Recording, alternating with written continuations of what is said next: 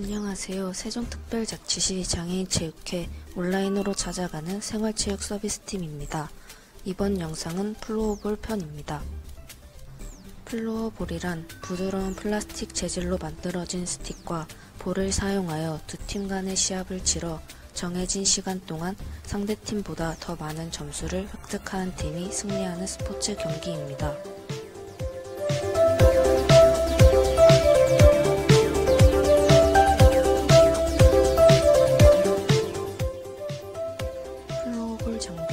플로어볼 장비에는 스틱과 볼, 골대, 그리고 골키퍼 장비들이 있습니다. 페이스 오프 페이스 오프는 경기를 시작할 때나 특정 상황이 벌어지면 중앙에서 양 선수에 의해 재개하는 방법입니다. 중앙 지점에 서서 볼을 가운데 두고 스틱의 블레이드를 11자로 놓고 휘슬이 울리면 뒤에 있는 자기 진영으로 볼을 내보내는 것을 말합니다. 드리블, 탭 드리블은 블레이드의 안쪽과 바깥쪽을 이용하여 공의 강약을 조절하여 좌우로 짧게 끊어치는 드리블 방법입니다.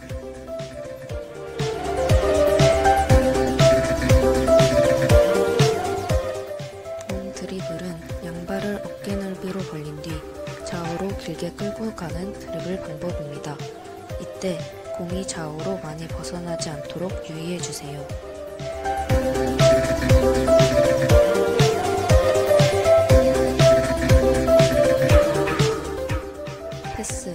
땅볼 패스는 볼이 바운드 되지 않도록 블레이드를 바닥에 누르면서 정확하게 패스하는 방법입니다.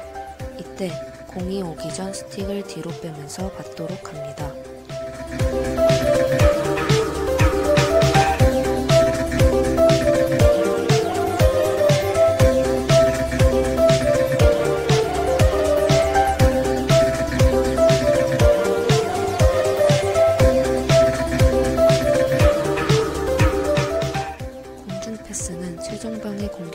공격수에게 바로 연결하여 공격의 활로를 잡고자 할 때 사용하는 패스 방법입니다. 이때 공중 패스는 가슴과 발을 이용하여 공을 잡아 놓을 수 있습니다. 슛 스틱을 약간 뒤로 뺀 후 공을 바라보며 강하게 끊어치는 기술입니다. 수고하셨습니다. 지금까지 시청해주신 세종시 장애인 체육가족 여러분, 생활 속 거리두기, 마스크 착용 등 개인 건강에 유념해 주시길 바랍니다.